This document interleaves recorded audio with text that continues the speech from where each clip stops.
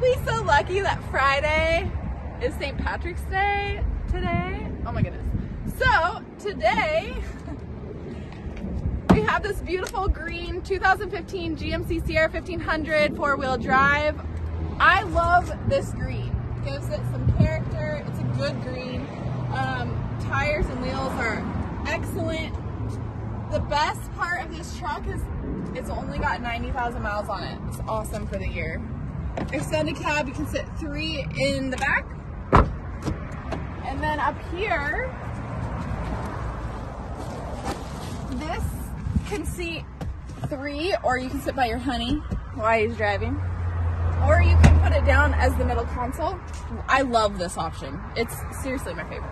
Um, all your tow hook up back there. It's priced in the mid 20s.